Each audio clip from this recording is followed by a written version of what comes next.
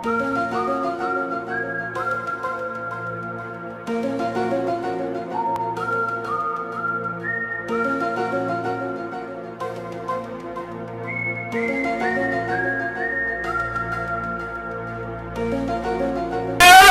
Mr. Rotman and I teach health and psychology.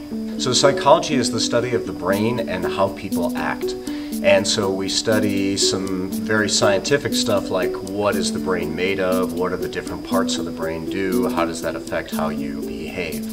And then we also get into stuff like your memory, your personality, um, uh, social interactions, how do people get along together. I think if you're interested in uh, why you do the things you do, uh, how your personality is put together, uh, how people interact, uh, psychology is a great way to learn about those things. If you're in psychology, you can do this.